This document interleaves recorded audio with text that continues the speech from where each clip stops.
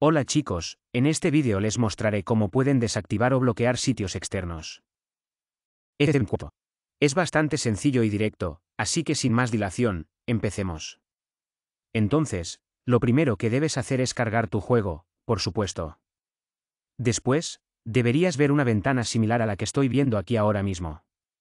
En la esquina superior izquierda, verás un icono de engranaje, así que debes hacer clic en él. Luego, selecciona Configuración, después Configuración del juego. Debajo de esta barra de juego, en las reglas, encontrarás la segunda opción que es Go Offside.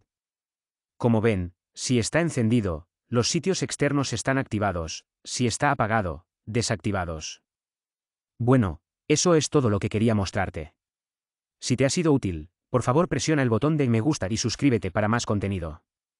Cuídate, chao.